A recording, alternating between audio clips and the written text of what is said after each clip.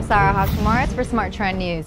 Genzyme spiked in early afternoon trading, up more than 17% in a burst of volume on a report that Sanofi Aventis has informally expressed interest in acquiring the company. The Wall Street Journal reports the development today in its online edition, citing unidentified sources familiar with the matter who warned that the deal could fall apart. Sanofi Aventis is down 4.63% Friday afternoon. I'm Sarah Hashimaris for Smart Trend News. For more on the story, visit our website, tradethetrend.com, or subscribe to our YouTube channel, Trade the Trends.